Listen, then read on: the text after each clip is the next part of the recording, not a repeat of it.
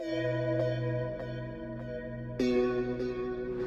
guys, this is Jeremy McGilver with San Antonio Mastermind, and I'm sitting here with Jonathan De La Garza. We just finished lunch, and we were strategizing for our upcoming event, September 22nd at Noah's event venue.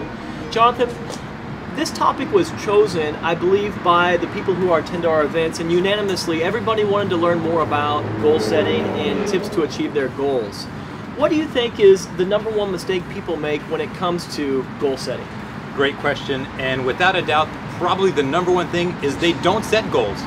So this is one of the things that I'm really excited about is that we had this conversation. I said, what are we going to bring of value?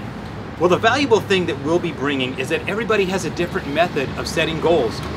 And you may take something away from Jeremy that you wouldn't get from me, or you may get something from me that you wouldn't get from Jeremy. We never know what's going to stick with us.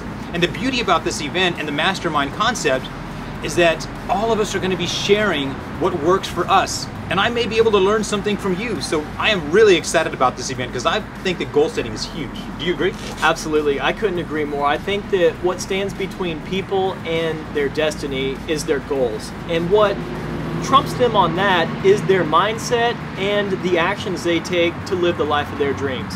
So come out September 22nd at Noah's event venue. Seating is going to be very limited. We're only going to allow 200 people to attend this event. So click the link right above this video and RSVP now.